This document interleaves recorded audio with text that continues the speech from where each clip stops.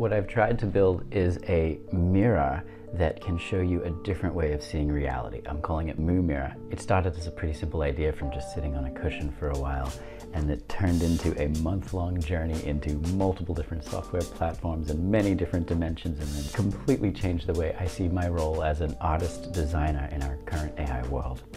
So what is it? Mu Mirror is a modern form of an ancient technology. For thousands of years, Zen has been using koans or riddles to encode mental hacks that help people see reality in a new way. Usually you have to meditate on a koan for a while and then eventually something just clicks and your brain shifts. One of the simplest of these koans is called Joshu's dog and it goes something like this. A monk asks the Zen master Joshu, does a dog have Buddha nature? And Joshu replies, mu! That's the whole riddle. Zen doesn't make a lot of sense a lot of the time at least at first. Because what people are trying to do when they're unlocking this koan is they just take that strange word mu, which roughly translates as like nothing or wrong question or like no answer. And they say mu again and again and again in their heads over a long period of time. And eventually, what happens after days or weeks or months of, of saying mu, mu, mu, mu, mu, as you look around the world, is the sound, the kind of nonsense sound mu, overwrites all the normal labeling that our brains make when we look around and we see like, oh, pictures on the wall and a door and a me. All of that is like move, move, move. So why would anyone want to do it? Well, it might sound strange to you, but it actually has a basis in modern particle physics and string theory. But I'm not going to get into that because that is not my wheelhouse. At a high level, what it means is that although we believe we are totally separate entities from everything around us, I believe I am not this door, that's just a helpful illusion. And before you say that's ridiculous, obviously you're not a door, you're correct. But consider eating a banana. Clearly you are not a banana, you're you. But at what point does a banana stop being a banana? Like you peel it, it's still a banana, you're holding it, it's still a banana, you take a bite, it's, when does that bite stop being a banana and become you? At some point, arbitrarily, humans have decided through language, we're gonna call it you if it's inside your skin, but a banana if it's inside a banana skin. Is that right? But like even those arbitrary labels kind of break down. If you peel a banana and you have a banana sitting on the countertop, you still call that a banana. So the point is the label of banana and the label of you are useful to describe the world around us, but they're not actually describing some fundamental reality. The fundamentally true thing here is that molecules, atom, energy, matter was in a location that we called banana for a second, and then some of that matter went into a location that we're calling me, and all that really happened is matter moved around. A banana was never created or destroyed, and you never really existed. Like nothing really changed on a fundamental level when you ate a banana. In this perspective, neither you nor the banana exist as truly separate entities. And if this isn't making any sense right now, that's totally normal. Or if it's making sense on some kind of weird, abstract, intellectual level, that's totally fair. But the strange thing about Zen koans is that when you really noodle on them for a while, the moment they click, that insight just sits in your body as a felt experience. You experience reality as this one thing that is unfolding unfolding and changing shape through time. And that can be a really intense, amazing experience. It's called non-duality. And it feels totally different than reasoning it out with words like I'm doing now and probably completely failing it. It's incredibly humbling. It's also incredibly uplifting and it creates a ton of compassion for everyone and everything because you realize that from this perspective, it's just different areas of one thing. But most people don't have the time or energy or patience to sit on a cushion and think mu mu mu mu mu mu mu mu mu for long enough to rewrite all the labels in their mind. So I wanted to try and make an art piece that might help some folks shortcut this.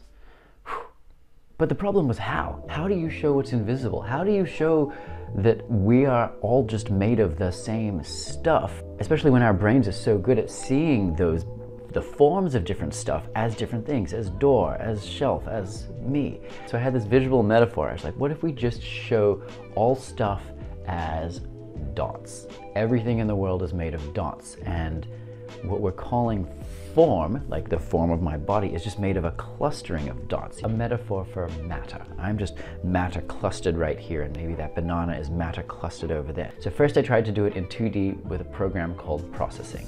I spent an hour with GPT making a simple prototype.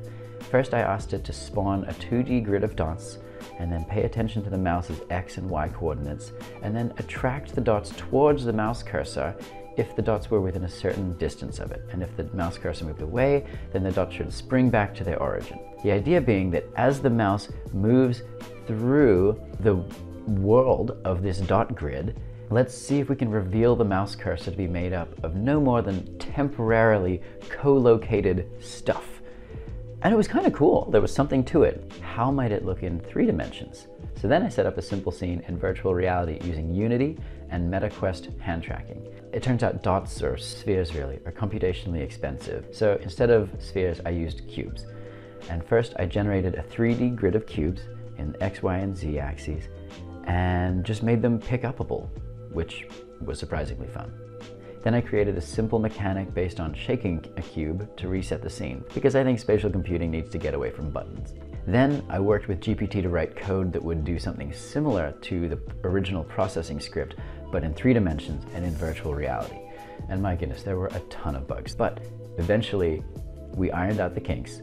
The problem was that the metaphor completely failed if you could still see your hand. Because if we're trying to get away from labels, then seeing a representation of my hand is not helping us here. So then I needed to figure out a way to make the hand invisible in VR so that as you're moving your physical hands in around this VR world, you're seeing where your hands are only represented as a cluster of cubes. And there was something to it.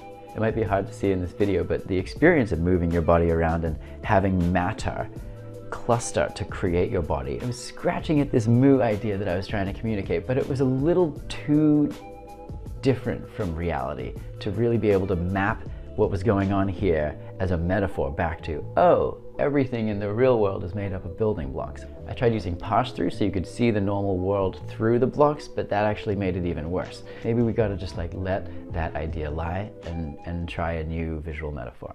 So then I mocked up a new idea in Premiere Pro by just manually layering square titles on top of a video file. What if when you pick up an object in the world, it is revealed that it's actually just made up of these blocks. Like instead of having all these blocks floating around you all the time, how could we only show the blocks when you interacted with an object? Could some form of pixelation help release our minds from labeling the stuff all around us? Like if this door were more pixelated, could I just see it as the form that's making it up instead of having my brain jump to door? So for the next set of these experiments, I decided to use P5. It's the JavaScript version of processing. And I chose it because it would easily allow me to read information from a webcam and then also host this experience online for anyone to see, which is part of the initial idea, is helping people see reality in a new way. So I wanted it to be easily distributable. First, I just made a breathing rainbow just to figure out how P5 works and how to get data from the webcam. Shout out to Dan from Coding Train for his outstanding tutorials. And then I tried an idea. What if we rendered reality as a series of overlapping dots, which might vary in size according to their brightness?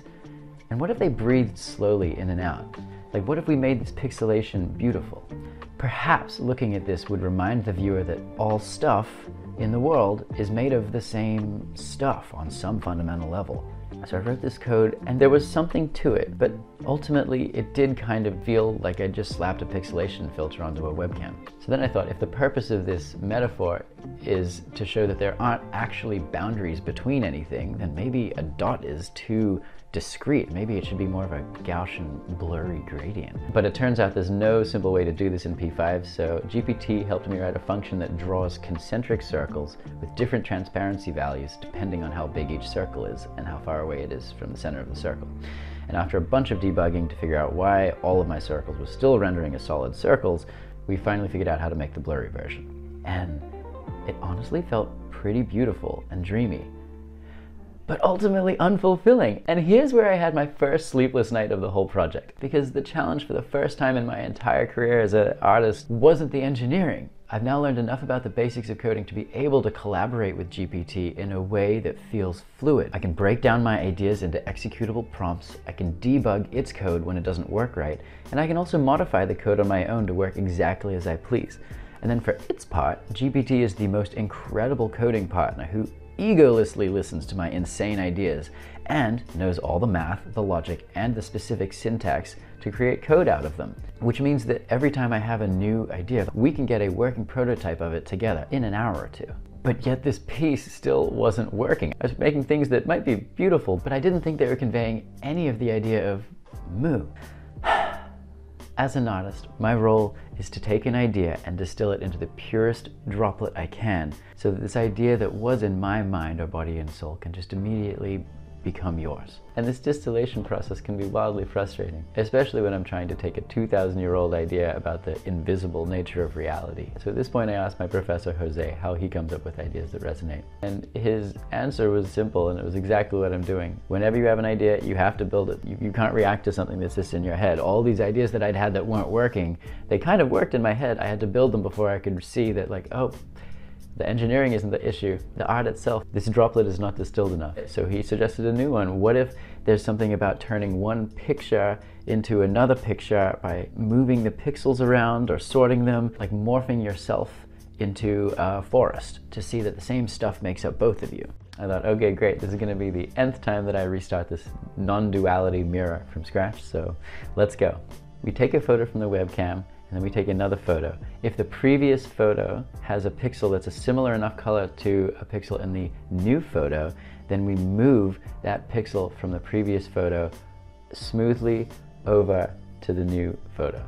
And then we're randomly seeding their movement and we're doing all of it in a browser.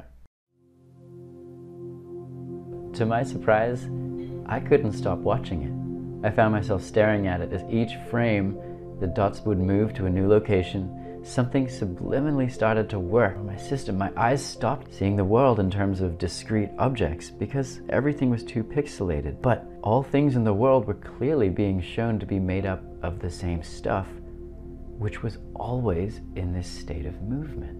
I was like, oh my goodness, this is starting to get it. I spent 10 more hours refining the script changing the speed at which the dots begin moving to be smoother, using a cubic function, experimenting with different dot sizes, putting in a breathing mechanic, trying different ways of layering the dots on top of each other, blurring the dots a little bit, and ultimately I settled on this. This is the Mu mirror. When I showed my partner and we both were in the frame, the dots just flowed between our faces and the wall behind us. She would exhale I would inhale. And all of reality was just revealed to be this shifting, unfurling, changing mass of labelless stuff. If you stare at it long enough, maybe reality will start to shift for you too a little. Or maybe it'll just be pretty. My hope for this artwork is that it might help shift something in the way you see the world if you stare at it for a few minutes. And my hope for this video is that it might inspire you to go and build an idea in your head, even if you don't know how to build it, by learning just enough to be able to work with these cool new tools that are available to all artists and designers. Thank you for watching, and thank you for being part of this crazy thing we're calling reality.